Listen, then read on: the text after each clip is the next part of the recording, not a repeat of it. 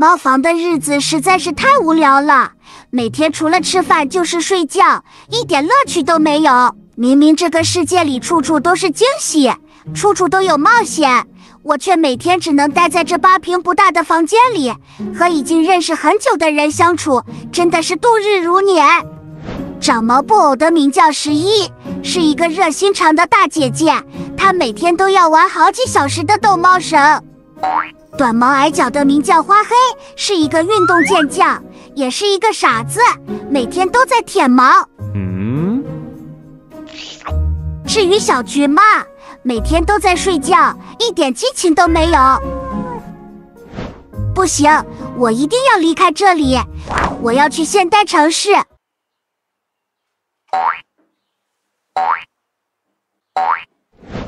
可是门好高呀，我上不去。难道是这里吗？从底部钻下去？当然不是啊，得从这来。我来开门吧。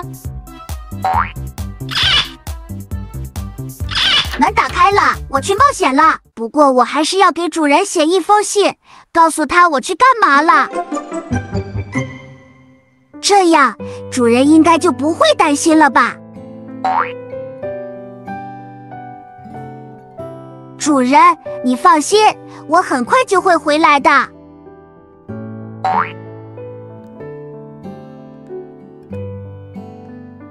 我的天哪，我终于自由了！不是吧？这怎么比门还高呀？这是已经下楼了吗？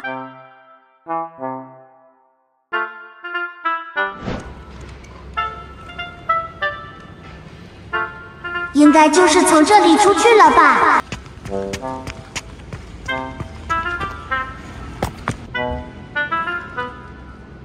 那边有汽车，要不我悄悄溜上吧。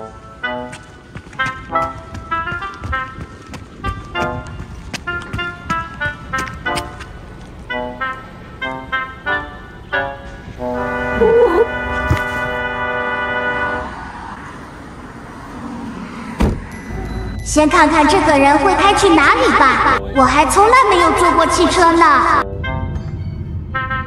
外面的世界也太大了吧！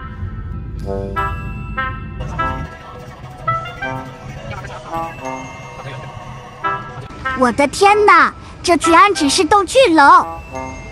外面的世界果然让我感到新奇。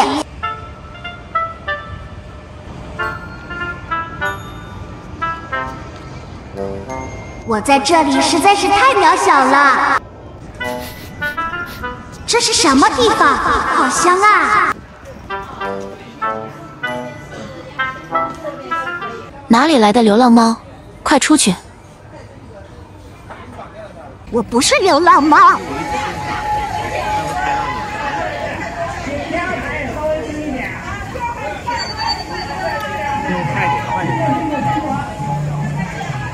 天哪！谁来救救我？我得找到之前坐的那个车。Two hours later，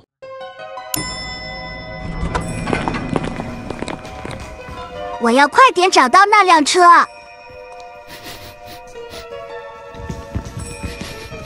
找到了，是这个。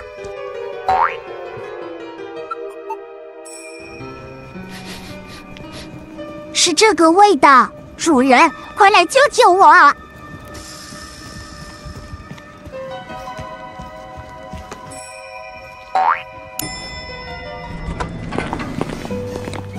主人，我回来啦！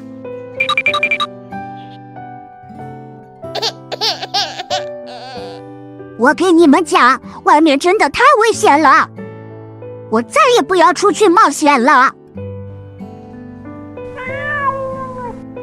还是家里温暖，